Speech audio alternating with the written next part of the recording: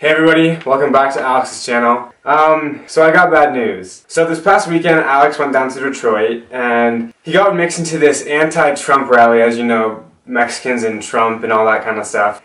So, long story short, things ended up getting wild. Alex started throwing things, people started getting angry, and things just went completely downhill. In the street, blocking the roadway, you are unlawfully assembled. You need to disperse immediately or you will be subject to arrest. Do it now.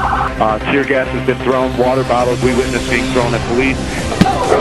Tear gas. Tear gas. This tear gas just dropped right near us. It's going to get very bad here if we don't have masks. What you're looking at is the aftermath. Long story short, Alex got deported. So, Alex is already back in Mexico. Um, he left a couple days ago.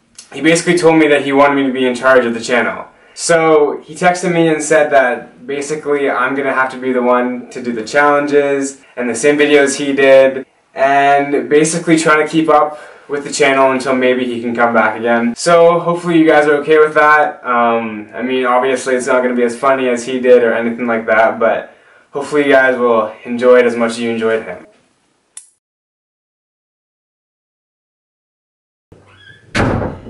Hello? Bob? Alex? Bob? Alex, you're back! Oh my god, Bob! I didn't get deported. What happened? Yeah, they just let me go. We talked it out. Their Canadians are nice. True that. Yeah. So I guess now that you're back, you don't need me on the channel anymore. Well, do you want to do this together, Bob? What do you mean? Like, do you want to start a channel together? Yeah, I do! Yeah! We're starting a channel.